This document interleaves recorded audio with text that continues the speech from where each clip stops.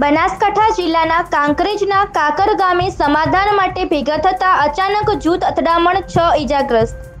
Corona મહામારી વચ્ચે કાંકરેજ તાલુકાના ગામે જૂથ અથડામણથી ઘટના સામે આવે છે, જેમાં ગત દિવસે રિક્ષામાં સાઈડ આપવા બાબતની માથાકૂટમાં સમાધાન વચ્ચે ધીંગાણું થયાનું સામે આવ્યું છે.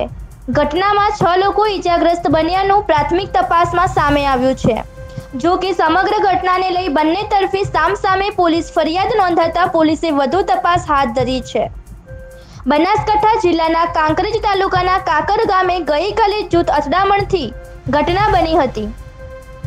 જેમાં દરબાર અને ઠાકોર સમાજના લોકો નજીવી બોલાચાલીના સમાધાન વખતે ધીંગાણો સર્જાતા અફરાતફરીનો માહોલ સર્જાયો હતો.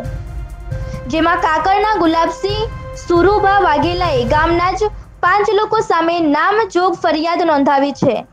આ તરફ કાકરના સુરેશજી ચીલાજી ઠાકોરે પણ ગામના જ સાત લોકો સામે નામજોગ ફરિયાદ નોંધાવી છે. સૂત્રોએ જણાવ્યું હતું કે કાકર ગામે રિક્ષાને સાઈડ આપવાને લઈ થયેલી નજીવી માથાકૂટને લઈ સમાધાન અર્થે ભેગા થયેલા બંને સમાજના લોકો વચ્ચે જૂથ અથડામણ સર્જાઈ હતી. જેમાં બંને તરફે એકબીજા ઉપર પ્રાણઘાતક હથિયારોથી હુમલો કર્યાની ફરિયાદ નોંધાવી છે. ઘટના બાદ ઈજાગ્રસ્તોને તાત્કાલિક સારવાર અર્થે પ્રથમ સિહોરી અને ગંભીર ઈજાઓને કારણે પાટણ ખસેડવામાં આવ્યા હતા. ત્યારે આજે સવારે તેમનું મોત થતાં કાકર ગામે પોલીસે ચુસ્ત બંદોબસ્ત ગોઠવી દેવામાં આવ્યો છે. ત્યારે હજુ સુધી લાશને પાટણ ખાતે પીએમ કરીને પોતાના વતનમાં લવાશે.